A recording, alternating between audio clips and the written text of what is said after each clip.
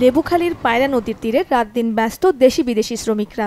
চট্টগ্রামের কর্ণফুলী সেতুর আদলে নান্দনিকভাবে সেখানে তৈরি হচ্ছে চার লেন সেতু। দুই হাজার ষোলো সালের চব্বিশে জুলাই শুরু হয় সেতু নির্মাণ।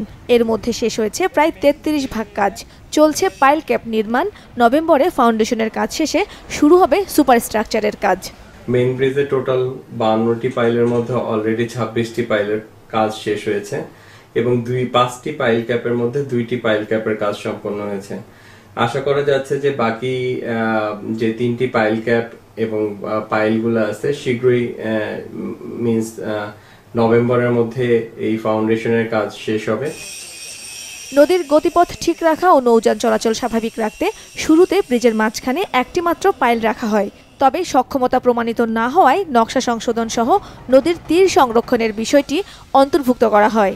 এসবের কারণে বেশি সময় লাগছে বলে জানিয়েছেন প্রকল্প পরিচালক। বরিশাল প্রান্তে এবং পটুয়াখালী প্রান্তের কাজ ইতিমধ্যে শেষ হয়েছে।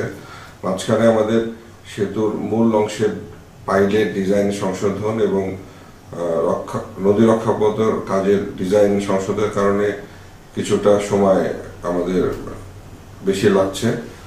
তারপরে আমরা আশা করছি যে দুই হাজার উনিশ সালের ডিসেম্বরের মধ্যে প্রকল্পের সমস্ত কাজ শেষ করতে পারব।